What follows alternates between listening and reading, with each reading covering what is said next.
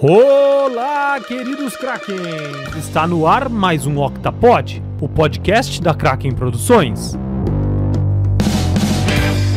Aqui quem fala é Pedro Pavim Sanches e hoje temos dois convidados novamente. Temos aqui mais uma vez Hugo de Freitas. Tudo bem, Hugo?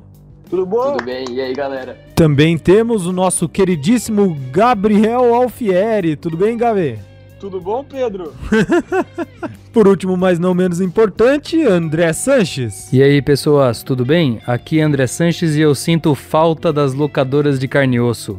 Então, sem enrolar um segundo a mais, soltem o Kraken!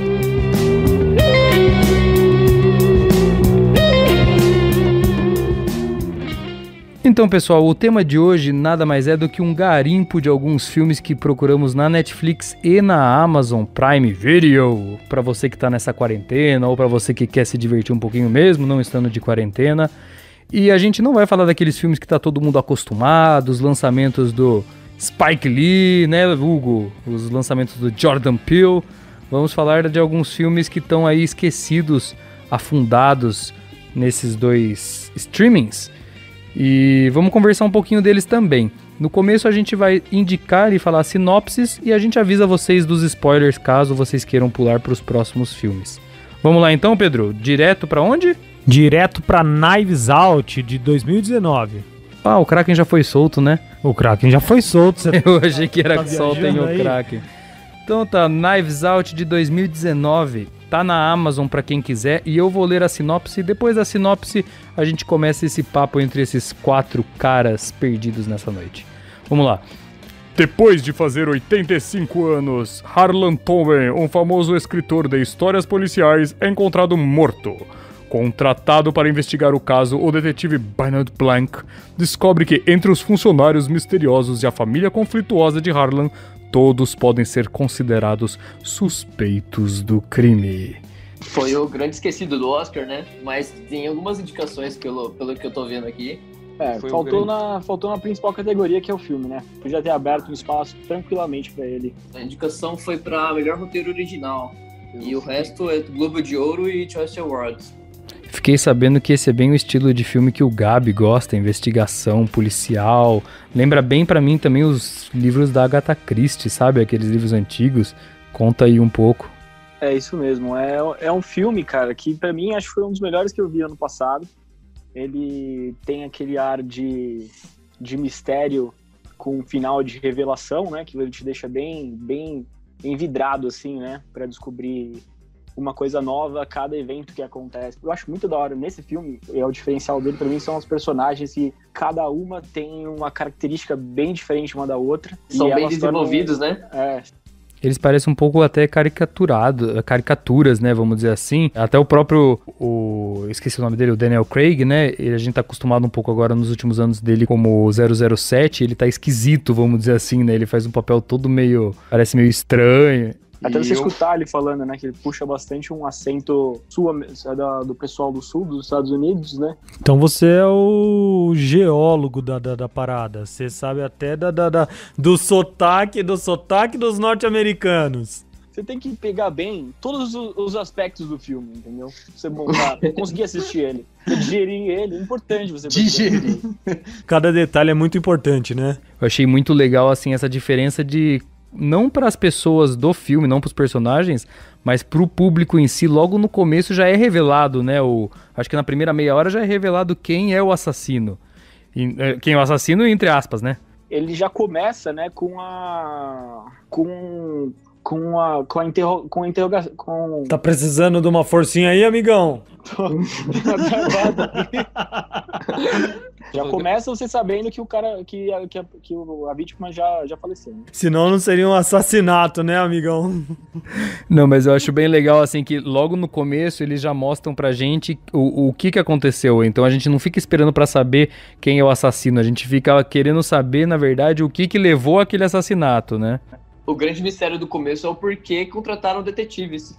Exatamente. Tanto que ninguém sabe quem contratou o detetive, né? Bom, vamos então pro próximo filme. Qual que é o próximo filme, Pedro? O Profissional de 1994. pode ser encontrado na Netflix. Quer ler pra mim a sinopse, Pedro? Vou dar uma lida aqui pra você. Não, não, não julguem o meu tom de voz. Matilda tem apenas 12 anos de idade, mas já conhece o lado obscuro da vida. Seu pai, abusivo, guarda drogas para policiais corruptos e a mãe a negligencia. O vizinho, Leon, gosta de cuidar de plantas, mas é um assassino de aluguel para o gangster Tony. Quando sua família é assassinada por um agente antidrogas desonesto, Matilda se une a um relutante Leon para aprender negócio mortal e vingar a morte da família. Muito Ei. bem, Pedrão. Gostei. Gostou do meu tom de voz? Como que foi? Gostei. Eu, eu dou uma nota zero. Pra começar aí a discussão desse filme, eu acho legal que ele. Primeiro que é, é um pouco clichê a história do tradicional filme do mentor e pupilo, né? Se você parar pra pensar. Mas é be- não deixa de ser legal, porque a Natalie Portman e assim, pequena, e o. É o Jean Renault, né? Se eu não me engano. Então. Eles têm bastante química na tela, é bem legal, assim, essa química entre os dois e ela buscando essa vingança aí, ele ensinando ela. É, é bem. Essa química, E- né, ela até é bem trabalhada em outros filmes, né? É aquele típico cara durão que é meio conquistado pelaquela garotinha meiguinha, né? É, Last of Us. Isso. é. Engraçado que ela pequena, assim, no, no filme, me lembrou a estreia de outra atriz pequena em um outro filme que também é, não é, não chega a ser uma um mentor, mas no Taxi Driver do Scorsese tem a Judy Foster quando é pequena. E assim, meio que me trouxe isso daí. Eu tomei um. Eu fiquei surpreso. Você ficou abismado. Fiquei falando, nossa, é realmente. Olha quem tá aí. Olha quem tá aí. No nosso próximo filme, eu vou dar uma dica, um spoiler, é The Dude! The Big Lebowski, 1998. Você pode encontrar ele na Amazon Prime Video e eu vou ler para vocês a sinopse. Jeff Lebowski é um boa-vida que acaba se envolvendo com a história de um milionário com o mesmo nome. O ricaço pede ajuda a Jeff para entregar o dinheiro do resgate de sua esposa, que foi sequestrada por bandidos peligrosos. E aí, Hugo, começa aí com The Dude, você que gosta tanto desse filmaço. Cara, Esse eu não é o gosto Hugo, né? só desse Cara do filme, eu gosto bastante dos irmãos Coen. Isso é verdade, né? Eu esqueci que é dos irmãos Coen. Se eu não me engano, o Fargo também é dos irmãos Coen, né? E em 2007 eles ganharam como, como melhor filme Onde os Fracos Não Têm Vez, que também é um grande filme. Tem o Javier Bardem como melhor ator, como melhor ator, como protagonista, né, do filme. Os irmãos Coen costumam fazer bastante filmes bons, né? Tirando aquele balada do, É, eles tiveram presente com esse filme É, no Oscar eu de já ia falar da uns balada dois de anos atrás. É, foi, foi ano passado, na verdade, no mesmo ano do Corra, outro filme que. Oh, Corra não, Roma. O legal desse filme aí é que o Lebowski, ele parece meio que, sei lá, ele é meio que um hippie à moda moderna, né? E ele, tipo, Um grande jogador de boliche, né? as roupas dele todas largadonas. Tão tosco como ele são os amigos dele, né? Vamos dizer assim. O John Goodman, ele me lembra bastante o Dwight Schrute do The Office nesse Do filme. White Shirt do The Office. Shut the fuck up, Downey! Hey man, calm down. Eu gostei bastante dele, mas ele é bem, bem estranhão, assim, sabe? O Lebowski lembra bastante o Bukowski.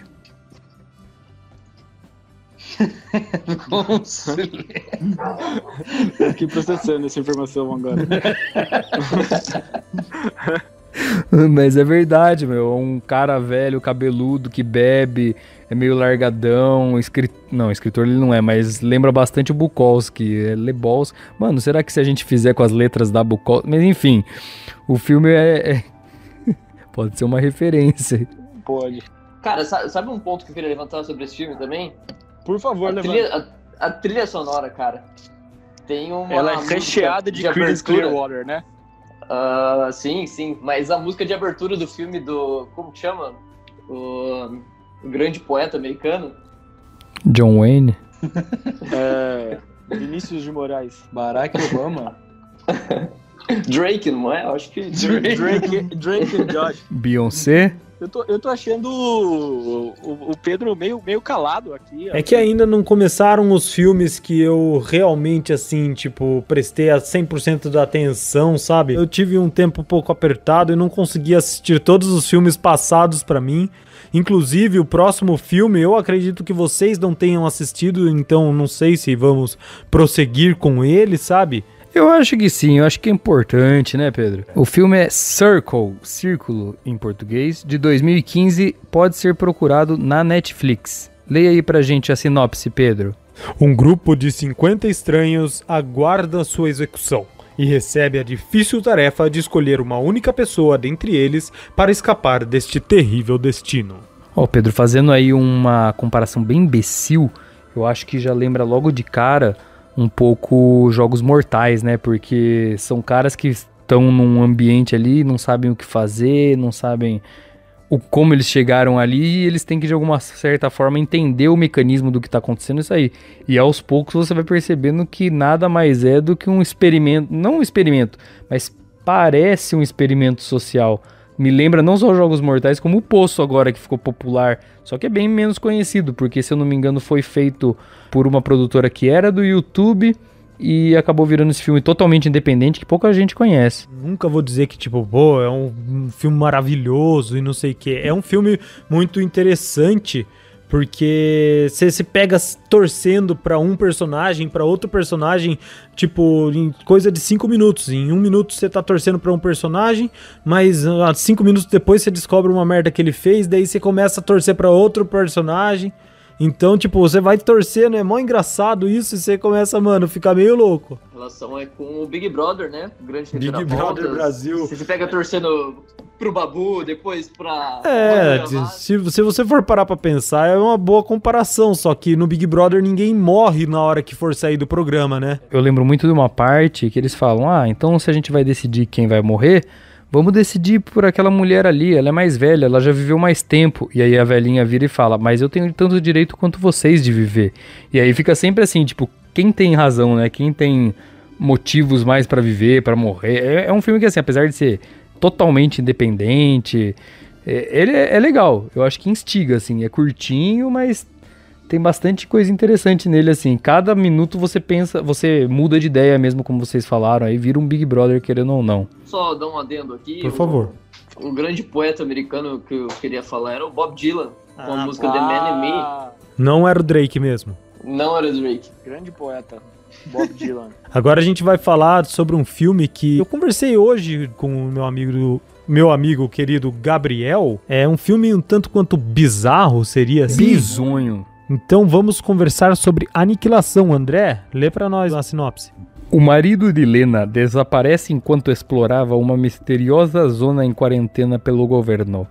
Ela resolve se juntar à equipe encarregada de entrar na mesma área. É, acabou, Pedro. É isso só a sinopse. Essa sinopse. Eu gosto muito como vai mudando o narrador da sinopse. Então, A gente tá com uma equipe de aproximadamente 32 pessoas, tá bom? São 32 famílias sendo alimentadas pela Kraken Produções. Eu acho interessante ter sido o Gabi a ter percebido isso, o cara que é o especialista nos sotaques do sul dos Estados Unidos. pegou assim, eu vi um sotaque meio, meio espanhol ali. Eu ia, fa- eu ia falar, um- eu ia falar boliviano. É, é mais ou menos. Pedro, você falou aí de terror bizonho, né?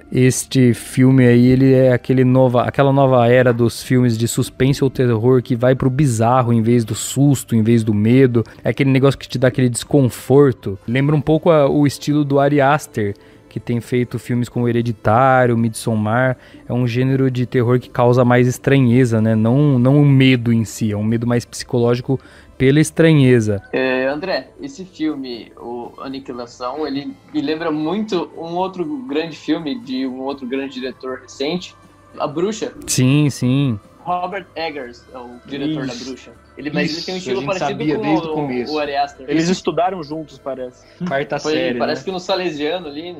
Hoje em dia eu tô preferindo muito mais filme assim do que aquele Muito. terror eh, scary, Não. sabe? Eu gostei muito do fim, que foi aquela brisa toda de, de descobrir que aqueles bichos estavam se copiando, estavam copiando todo o ecossistema. Só que pra mim, aquele fim foi a única parte boa do filme. Pra mim, todo o resto foi uma puta enrolação que os caras não estavam entendendo o que eles iam fazer. Fazer e, tipo, foram enchendo linguiça até chegar num final que foi legal, mas pra mim o resto do filme inteiro é só encheção de O linguiça. resto do filme serve pra você entrar nessa ambientação, né? Porque você eh, tem todo aquele ecossistema pra Te você levar pro mundo entender. novo, né? É, aquele mundo ali do. É pro pessoal que gosta de ver um filme e sair confuso do filme. Porque hoje é moda também. Assim, E- porra, eu gostei muito desse filme, você entendeu? Quase nada. Mano, e ele é muito. Eu, eu tenho uma cena nesse filme que eu nunca vou esquecer, que eu falo que é uma das cenas que eu fiquei mais, tipo, "Ah", paralisado, assim, que eu falo que é muito bizarra, que é quando elas ouvem o grito da amiga delas que morreu pedindo ajuda, só que na verdade é o bicho que tá, tipo. Trazendo como se fosse uma. Reproduzindo para como se fosse uma isca. Só que, tipo, se- mano, é muito estranho você ver a menina gritando socorro saindo da boca de um bicho assim, e, tipo, e é um som muito help. Aí eu fiquei muito, tipo, mano, que merda é essa? Esse filme, ele tem três linhas temporais, né? Isso que confunde bastante o pessoal também tem que estar bem atento. E como ele trata bastante desses clones, que tem o, tem o passado, que é antes do pessoal entrar no brilho, né? Que eles chamam essa, essa dimensão refratora aí, sei lá. E depois que, que, é, que é o. Não, desculpa. Tem dois passados, né? Ó, já, já até me perdi. O presente seria. o, pre- ó, o presente seria a Natalie Portman no começo do filme explicando para meio que contando a história de como de quando eles estavam dentro do brilho, é, que é o primeiro passado. Aí depois tem um passado antes desse passado. Ô, pessoal de casa, imagina aí a Nazaré lá, o meme fazendo os cálculos aí. tipo, what the fuck? Tem três passados, um presente e três futuros. Bom, então assim, definindo o filme segundo o Gabriel, eu acho que ele tem três passados, dois presentes, um futuro. Ele é bom, mas ele não é tão bom assim. e Eu entendi, mas não entendi o que aconteceu também. então, Aniquilação é um filme pra você que quer sair assim bem light e não ficar confuso. Só um adendo aqui, eu assisti esse filme hoje 6 horas da manhã, meu irmão. 6 horas da manhã eu acordei louco de sono já. Eu acho que tinha que aniquilar quem acorda às 6 horas da manhã. O Pedro tá com esse costume novo dele, né? De acordar cedo, né, assistir filmes como Aniquilação e continuar o dia dele, né? Meu dia é muito mais proveitoso Você tem que disso. entender que o Pedro começou o dia dele assistindo Aniquilação e terminou assistindo o nosso próximo filme, que é A Bruxa de Blair, que tá na Amazon. Então, olha esse dia do Pedro como foi. Começou mais ou menos e terminou bem mal. Hugo, eu tô com você nessa, viu? Eu, eu respeito a opinião do Hugo, apesar dela estar errada, mas vamos, vamos ler agora a sinopse da Bruxa de Blair, pra quem não sabe, de 1999. Ô, Pedro, eu acho que eu acabei de ler a última sinopse, é sua vez. Bom, um grupo de três jovens cineastas desaparece ao entrar em... Agora é o Luxemburgo que tá falando. Você é safado. Vou ler com a minha voz normal, então. Um grupo de três jovens cineastas desaparece ao entrar em uma floresta de Maryland para gravar um documentário sobre uma lenda local. Anos depois, a câmera que usavam é encontrada. Uau! Eu já vou adiantar aqui que eu achei uma bosta.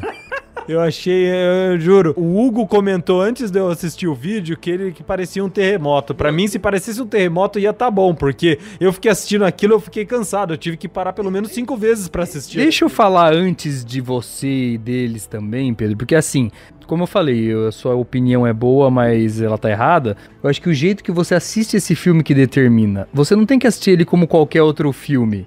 Você tem que assistir esse filme como se ele fosse tipo um parque de diversão, mano. É uma experiência, é tipo o 1917 que lançou agora no cinema, o Gravidade lá do Alfonso Cuarón. Você entra nele assim, se coloca no lugar daquele cara que se perdeu na floresta e fala: "Porra, eu tô no lugar desse cara". Esse é o terror, não é tipo um monstro, não é um susto. E ele transmite muito bem esse terror. Ele transmite porque você fica agoniado. Aí eu já não sei. Se você começa a se olhar no lugar daquele cara, você fala, mano, eu já tô dois dias e minha, minha comida era pra um dia e já tá começando a ficar feio, tá ficando sujo aqui o negócio. Mano, começa a te zoar a cabeça. Então, eu acho que o filme não tem que assistir, ser assistido como um filme, assim como Aniquilação é um filme difícil de assistir, ele é um filme que, assim, você não vai assistir. Ah, tô afim de assistir um filme pra passar o tempo, me entreter. Não, você tem que entrar no filme de cabeça. E aí você sente a experiência. Então, talvez não é o tipo de filme pra assistir só como um filme. Então você sugere assistir com VR? Nossa, o Bruxa de Blair com. É, meio que eu assisti assim, eu assisti no celular. Assistir com VR seria uma experiência foda. Agora, vamos à opinião aí do Hugo, que também detestou pra combater a mim, e depois o Gabi pra me defender um pouco, né? Eu vou, eu vou começar com os pontos positivos. É, Vai lá, era Hugo. 1999, não tinha nenhum filme desse estilo. Foi o primeiro filme desse gênero e com terror. Eu, eu acho muito legal que tenha alguém inventado esse estilo. Porém, na Bruxa de Blair, eu acho que falta muito. A pessoa tá com a câmera na mão, mas a pessoa chacoalha demais, não tem foco em quase nenhuma cena. E os acontecimentos eu acho que são até meio fracos. Isso a gente vai comparar com os filmes de, de hoje em dia, né? Ah, cara, eu acho que assim, é é uma coisa que tem que falar sobre todos, a maioria dos filmes dessa lista, vai. Que eles realmente, eles são filmes peculiares. Eu acho que não vai ter. Eu falei só do, do Aniquilação, que seria um dos mais difíceis, mas pensando bem, olhando lá como um todo, acho que ela, todos os filmes que estão aqui, ela não, não vai agradar, não vão agradar todas as pessoas de todos os públicos, no geral. Sim, é, como eu tô vendo aqui no Rotten Tomatoes, a audiência tá em 56%, enquanto a crítica tá em 87%. todos, todos os filmes da lista, eles têm boas, eles são, eles são fresh no Rotten Tomatoes, menos o, o Grande Círculo, né? Que, Que é, um- é muito bom. que muito dispen- bom. dispensa comentários, um grande filme. Mas, enfim, da, sobre a Bruxa de Blair, eu, é o que o Hugo falou. Ele é importante porque ele meio que deu esse pontapé. É, depois veio é, igual atividade paranormal, né? E o mesmo fenômeno aconteceu com o Bruxa de Blair, que foi o orçamento super baixo e uma arrecadação super alta, né? O a atividade paranormal, se eu não me engano, custou 15 mil dólares e arrecadou, tipo, sei lá, 200 milhões. Ou seja, é muito dinheiro, é muito vale a pena. Por isso que eles fazem adoidados. Igualmente ruins. Tem oito Mas- filmes e um japonês ainda. Ô, Hugo, calma aí que eu não entendi essa parte do japonês aí. Que que, que que é que eu não entendi, mano? Tem, então, tem oito atividades paranormais e mais um que foi feito no Japão. Ah, tá, mano, eu entendi agora, entendi. É que você falou, tipo, tem oito e um japonês. O que, que que esse cara tá falando, mano? Ah, saudoso Leonardo Zu, queria mandar um abraço pra ele. Um, Um abraço abraço, Leonardo Zucca. E você, Pedro? E você? Eu queria saber o que você achou do Não, eu, queria, eu queria saber o que o Pedro achou da Bruxa de Blair. Eu vou, eu vou ser bem sincero do que eu achei da Bruxa de Blair. Eu fui com a cabeça totalmente aberta, porque foi, é um filme que todo mundo fala sobre, fala que é legal. Então é um filme que eu achei que eu ia gostar. Comecei a assistir. Quando já tinha dado uns 10 minutos, eu comecei a ficar com a vista meio cansada, aqueles balanços de câmera e hora você tal. assistiu? Você tem o seu horário pra dormir também, né? Não, eu tenho meu horário pra dormir, mas eu tava ainda meio ligadão, tinha tomado uns seis energéticos pelo dia, então eu tava tranquilo. Daí tava meio cansadão ali né, com a visão tal. Dei uma paradinha no filme, conversei com meu pai, daí voltei a assistir e tal. E gostei, vou- eu não vou dizer que eu não gostei do filme, mas pra mim não acrescentou nada. Esse negócio do terror psicológico que vocês falaram que tem que saber assistir. Mano, eu sou uma pessoa que eu começo a assistir, eu tô dentro do filme e eu não me senti nervoso em momento nenhum. Tipo, à noite eles só falavam, tipo, que barulho é esse? Que barulho é esse? E pra mim isso não me aterroriza, pra mim... Porque você assistiu sentado no seu sofá. Eu assisti junto com eles na barraca, Pedro. Não, mas... mas Você assistiu jogando Pokémon GO? Não, não assisti jogando Pokémon GO. Foi um filme que eu assisti de verdade com a cabeça aberta, só que não me assustou, não foi um negócio que me deixou com medo psicológico, não foi um negócio que não me gerou sentimento nenhum. Só de raiva de ter perdido seu tempo. É, talvez. Então agora vamos terminar as nossas discussões com um filme um pouquinho mais leve. Leve entre aspas, né, Pedro? Na verdade, eu acho que só não vai gerar discussões. É um filme de 2012 que você pode encontrar na Amazon. As vantagens de ser invisível. Um jovem tímido se esconde em seu próprio mundo até conhecer dois irmãos que o ajudam a viver novas experiências. Embora esteja feliz nessa nova fase, ele não esquece as tristezas do passado, que tem origem em uma chocante revelação. E o Pedro não assistiu esse filme. Eu acho uma. é, olha, eu vou, eu vou ser bem sincero, eu, eu quase não vim participar aqui devido à responsabilidade do, do Pedro, né? Com, a- com as pautas do programa. Eu sou um rapaz muito atarefado, por favor, me perdoem. Deixa eu perguntar, André, e o fato dele não ter assistido tem alguma coisa a ver com ele ter recebido The Last of Us 2 ou não? Não só De tem a, forma alguma. não só tem a ver com isso, como no sábado eu dei duas opções de filme pra ele assistir. Eu cheguei e perguntei qual você escolheu. Ele falou nenhuma. Então, o cara é totalmente responsável. Ele tinha tempo pra assistir essa lista duas vezes cada filme e ele assistiu umas três. por isso tá aí caladinho. Eu joguei, no sábado eu joguei só sete horas de acabou of mim. Não dá, não dá pra, tra- não dá pra, não dá pra, não dá pra, não dá pra. Eu acho uma falta de comprometimento. Eu acho assim, eu acho que deveria encerrar não só por aqui, mas encerrar a carreira, encerrar o podcast. É Eu acho um triste, é muito jovem, mas teve que encerrar a carreira. Se você é do público que chegou até aqui do podcast, tipo mãe, Massuela também, eu acredito que chega, porque ele escuta bastante. ou você que chegou até aqui porque deixou do lado da cama e acabou dormindo e agora acabou de acordar, oi, boa noite. Não ouve o Pedro então, porque ele não assistiu. Mas vamos começar a falar do filme então, as vantagens de ser invisível. Eu gosto É, então- muito desse filme. Eu não assisti. Legal, Hugo. Não, Cara, eu, pouco achei mais. que você fez uma crítica. Boa análise, Hugo. Nossa, boa. você já pode ser contratado pelo Oscar. É o novo o Rubens Evald Filho. É, Eu acho que podia ter um próximo Oscar, né? Os comentários com Glória Pires e, e Hugo Freitas. Eu acho um ótimo filme, Hugo Freitas, acabou. Pra mim, o- as vantagens de ser invisível é um novo clássico da nossa época, como foi o The Breakfast Club. Clube dos Cinco, super filme também, personagens bem legais, né? Filme bem sensível também, né? Você falou de sensível, essa é a parte mais legal, a parte da sensibilidade com que eles conseguem abordar os problemas dele, né, do protagonista, porque ele tem problemas psicológicos, entre eles depressão, uma certa ansiedade, Alucinação. alucinação, e só que não é escancarado. Ele é bem sutil. Exatamente, você vê na, na, na atuação dele mesmo que ele tenta lutar com aquilo, que ele tá tranquilo na maioria do tempo, externalizando tá tranquilo, mas por dentro ele tá totalmente destruído. Eles vão escondendo a história da tia dele, você vai descobrindo aos poucos, você sabe, você já entende que ela morreu, mas você vai descobrindo aos poucos que ele se sente culpado pela morte dela. É um filme bem sensível que lida com isso, não, não é só um filme como o Pedro tava olhando. É, o Pedro é só assistiu o trailer, né? Não vamos falar do Pedro, vamos falar de, do filme.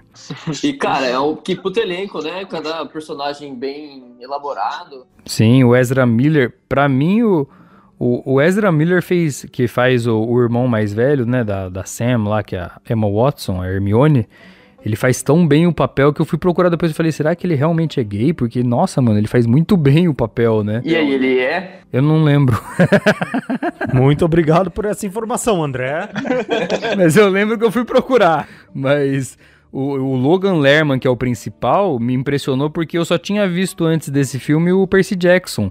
E no Percy Jackson ele faz todo aquele molequinho, não sei o que, e de repente nesse filme Eu ver também The Hunters, né? Ah, não, mas demorou um programa inteiro e já estão falando The Hunters. Um, um abraço aí pro Pedro Alfieri e pra Amanda. Um dia eu vou assistir The Hunters, mas ainda não. Vamos lá, só pra repassar então entre facas e segredos da Amazon Prime, O Profissional da Netflix, The Big Lebowski da Amazon, Circle da Netflix, Aniquilação da Netflix, Bruxa de Blair da Amazon, As Vantagens de Ser Invisível da Amazon. Não é da Amazon nem da Netflix, na verdade está disponível na, né?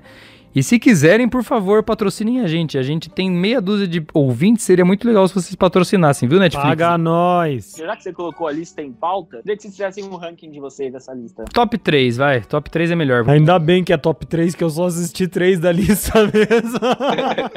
ah, já que eu só assisti 3, eu vou colocar a Bruxa em terceiro lugar. Em segundo lugar, eu vou colocar Aniquilação. E em primeiro lugar, O Círculo. Não é O Círculo, é só Círculo. No meu ranking, eu coloco em terceiro The Big Lebowski.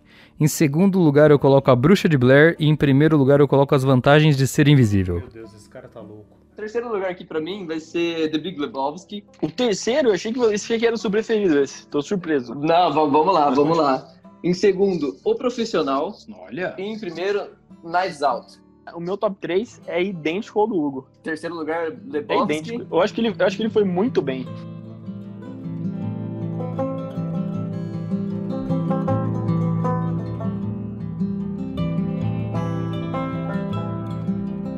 Nesse clima amistoso de listas, de amizade aqui, a gente vai começar se despedindo, começando por você, Hugo. Valeu, galera. Muito obrigado pelo convite e até uma próxima, quem sabe. Quem sabe não, depois desse programa você nunca mais será convidado. Gabriel, se despeça também. Ô, bom, pessoal, queria, queria mandar um abraço pra, pra todos os meus fãs, uns queridos, e é isso aí. Legal, legal. Mais um que nunca vai participar. E agora, Pedro, você. Um abraço, meus queridos ouvintes. na- Até a próxima. Ah, e também falar parabéns pro TCC do Gabriel, já vamos colocar no programa também. Valeu, Krakens! O que virou o nosso programa? Ai, vai dar um trabalho editar essa merda.